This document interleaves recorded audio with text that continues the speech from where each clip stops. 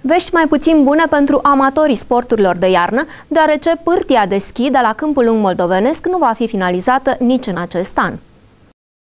Anunțul a fost făcut de primarul localității Mihăiță Negură. Acesta a explicat că lucrările care au fost executate începând cu 2009 au intrat în conservare încă din anul 2013 din lipsă de finanțare. În plus, unele lucrări executate s-au deteriorat deja, ceea ce face ca și valoarea proiectului să crească. Avem inclusiv alunecări de teren pe traseul părtiei pentru că au fost sistate lucrările. Am făcut o expertiză tehnică, știm exact cât costă stricăciunile, peste 400.000 de euro, a precizat Negură. Primarul Primarul a mai explicat că dezvoltarea municipiului de la poalele Rarăului depinde și de finalizarea pârtiei. Câmpul Lung a pierdut cel puțin 400 de locuri de muncă din cauza nefinalizării pârtiei de schi. Avem pensiuni care s-au închis din cauza că pârtia nu este gata. Avem administratori care au sistat construcția unităților de cazare din aceeași cauză. Pentru noi, pârtia de schi este extrem de importantă, a spus Negură. Pista de la Câmpul Lung Moldovenesc are două tronsoane. Primul este finalizat în proporție de 82%. Tronsonul se întinde pe 2,6